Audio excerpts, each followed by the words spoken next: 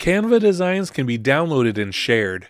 Free Canva accounts have access to most options, but may be restricted in the advanced settings. To download a design, click the Download button to the top right, which has a down arrow. Click the File Type drop-down and select an option. In most cases, we recommend PNG or PDF. Then, click Download again. When downloading is complete, the file can be viewed on your computer as well as uploaded to Google Drive or Sakai. Sharing a design will invite other users to access it on Canva. To share, click the Share button to the top right. Enter the email address of the desired invitee and click the drop down to the right to set their access level.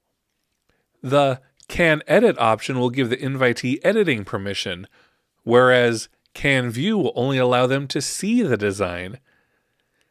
Enter a message if desired, and click Send.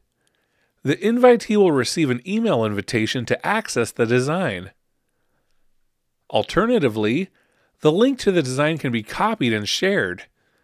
To share the link, click the meatball button to the top right. Click Share Link. And then click the copy button next to the View Link. The link can then be pasted elsewhere, such as in an email or Sakai assignment. Designs shared using this method won't require viewers to log into a Canva account.